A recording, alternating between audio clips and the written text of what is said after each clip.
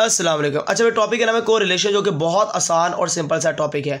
अगर देखा जाए प्लांट की जो ग्रोथ होती है, उसके साथ साथ प्लांट के अंदर डेवलपमेंट भी हो रही होती है। मतलब डेवलपमेंट के साथ साथ ग्रोथ भी हो रही है और ग्रोथ के साथ साथ डेवलपमेंट भी हो रही है।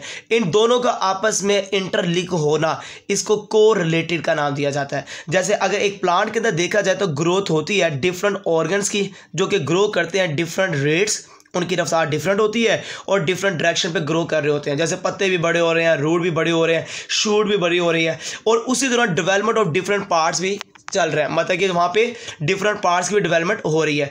इन दोनों का ऐसा रेसिप्रोकल रिलेशनशिप को नाम दिया जाता है, ऐसे उल्ट रिलेशनशिप को नाम दिया जाता है को रिलेशन है। आपको और कॉन्सेप्ट को क्लियर करने के लिए एक हमारे पास एग्जांपल है एपिकल डोमिनेंस आपने अक्सर देखा होगा प्लांट के पास दो तरह की बर्ड होती है। एक होती है ऊपर वाली टर्मिनल बर्ड एक होती है लेटरल बर्ड एपिकल बर्ड या टर्मिनल बर्ड एक ही नाम है। लेटरल बर्ड या एक्सिलरी बर्ड एक ही नाम है।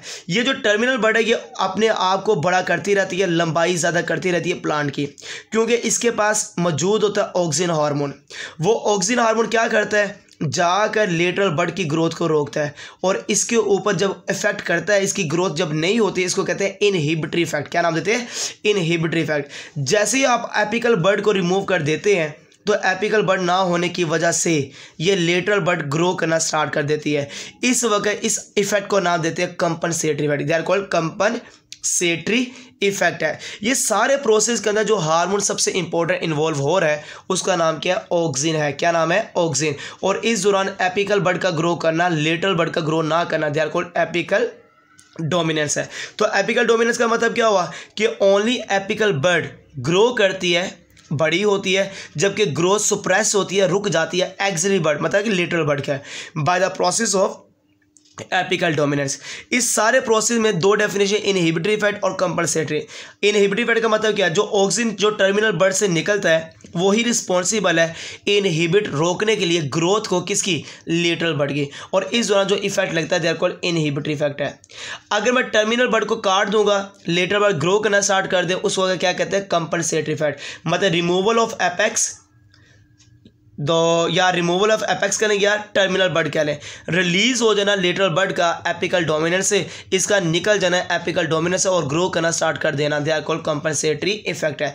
ये सारे जो एक्सपेरिमेंट मैंने बताए ना आपको, ये जिस साइंटिस्ट ने किए, उसका नाम थाईमान और स्कोग है। 1934 में इसने सारे एक्सपेरिमेंट परफॉर्म किए और बताया कि क्या होता है एपिकल डोमिनेंस क्या होता है इनहिबिटिंग इफ़ेक्ट और क्या होता है कंपनसेटरी इफ़ेक्ट है। अब इस पूरे के पूरे प्रोसेस के अंदर देखा जाए, अक्सर दरख्त की लंबाई का ज़्यादा होना, चौड़ाई का ज़्यादा ना होना, अक्सर जो होते हैं ना गार्डन जो माली होते हैं, जो बाढ़ लगाते हैं ना गार्डन के इर्द गिर्द, उस बाढ़ को ऊपर से काटते हैं। तो मैंने पूछा, ऊपर से क्यों काटते हैं? कहते हैं, साइडों से ये अपनी शाखें निकालेगा। अब साइडों को निकालने के ऊपर से काटना पड़ता है मतलब कि टर्मिनल बर्ड को रिमूव करेगा ऑक्सीजन नहीं रहेगा, और लेटरल बर्ड क्या करेगी? ग्रो करना स्टार्ट कर देगी। तो सबसे बड़ा रोल क्या है बेटा? हेल्प देना डेंस ब्रांचेस करने में प्लांट के अंदर। टेप रूट्स की डेवलपमेंट करना। गाजरें लंबी होती है, मूलियाँ लंबी होती है। उनकी ग्रोथ में भी एपिकल डोमिनेंस हो रहा होता है। इवन के आलूओं के ऊपर अक्सर उकात हरे हरे छोटे से उबार निकल आते हैं। उनको आई बर्ड्स कहते हैं। वो कभी भी बड़े नहीं होते ग्रो नहीं करते। तो प्रिवेंट करना सपोर्टिंग या जर्मिनेशन ऑफ़ आई बर्ड्स को पोटैटोस के अंदर, ये भी एपिकल डोमिनेंस का काम है। इवन पोटैटोस को स्टोर करने के लिए अगर देखा जाए, आप एपिकल डोमिनेंस का ही रोल अदा हो रहा होता है, जिसमें वो छोटे छोटे जो आई बर्ड्स निकलते हैं, उनको ग्रो करने से रोकता है इवन को आलू को ख़राब होने से रोकता है। ऑक्सीजन कंट्रोल करता है एपिकल डोमिनेंस को।